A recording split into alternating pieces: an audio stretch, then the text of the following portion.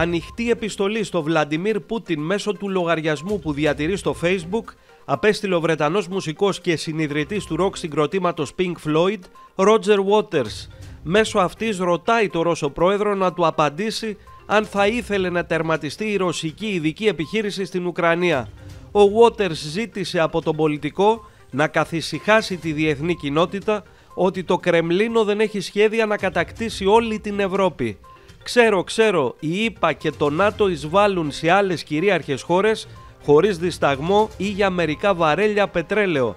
Αλλά αυτό δεν σημαίνει ότι πρέπει να κάνετε το ίδιο αναφέρει μεταξύ άλλων ο Ρότζερ Waters. Επίσης ζητάει εγγύηση από το Ρώσο ηγέτη ότι η Ρωσία δεν έχει άλλα εδαφικά συμφέροντα από την ασφάλεια του ρωσόφωνου πληθυσμού στην Κρυμαία, το Ντόνετς και το Λουγκάνσκ, ενώ έκανε αναφορά και στα πυρηνικά. Ναι, απλά ανατινάξτε ο ένας τον άλλον και τον κόσμο.